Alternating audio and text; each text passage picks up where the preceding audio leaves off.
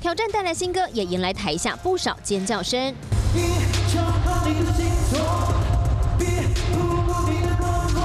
先前遭前女友周扬青毁灭式的爆料，让演艺事业几乎终止的罗志祥似乎开始全力大反击。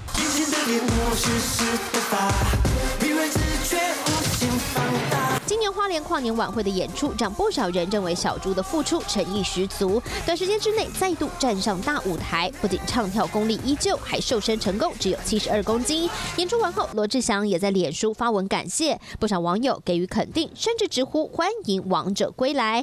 看来感情丑闻已经慢慢淡去，也让人看见他回归的企图心。另外，二十九号这一场演出，除了罗志祥压轴唱跳十六分钟不间断，也邀请新生代男神瘦子担任嘉宾。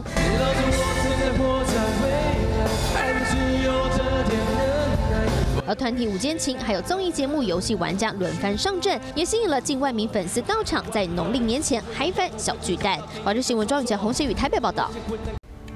我是陈雅玲，想要跟我一起从零掌握天下事吗？赶紧按下华视新闻 YouTube 频道的订阅按钮，开启小铃铛，跟我一起探讨公共议题，给您最专业的华视新闻。